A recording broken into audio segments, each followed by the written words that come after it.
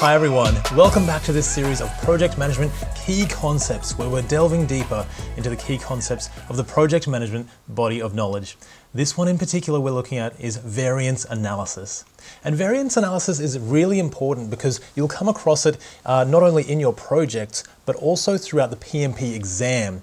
And it's basically what we're doing is we're reviewing the differences or the variances between the planned and the actual results, so the performance. And that performance could be in our cost, or it could be in the time or the schedule that we're, that we're going along with our project. Um, as you can see, duration estimates, cost estimates, resources, technical performance of our project and, and other activities and metrics. So all of these things, they will, uh, they will differ from the way that we have planned. We can't see the future, unfortunately, no matter how hard we try. So the best we can do is plan up front and then track those actual results and see the variance between those results. And that's where variance analysis comes in. So with, uh, with variance analysis, we might have examples such as schedule variance, where we've got our earned value, which would be minus our planned value.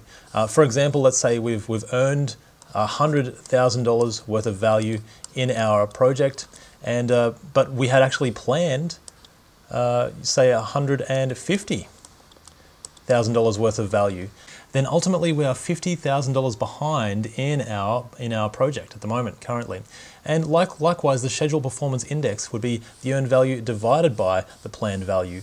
Uh, let's give ourselves another example here. If we've earned $70,000 uh, worth of value, but our, we had actually planned $100,000, this is a nice easy one, uh, then obviously divided by that, we're looking at 70% or 0.7 you'd be looking at for the schedule performance index. And as you can see, if we're less than 1, we are behind schedule. If we are over 1, then we are uh, ahead of schedule. So we've delivered more value than what we were expecting. And we'll go into these in more detail as we go into cost management, project cost management, and project schedule management. But this is just a really quick, broad overview. Cost variance and, and cost performance index are the same. Where we're looking at the earned value, say, let's say again that's $70,000 minus the actual cost, and let's say we've actually spent $50,000. Then all of a sudden, uh, we now are $20,000 ahead in that scenario. Or the cost performance index if it's under one, then we've delivered less value, so we are over budget. And this is a little bit confusing, but if we're over one for our cost performance index, then we are under budget. So we've delivered more value than, uh, than one, which would be the normal amount. So these are a few examples of variance analysis, and you will come across more as we go through schedule management and cost management and the other project management processes in the project management body of knowledge. I hope this has helped. I'll see you next time.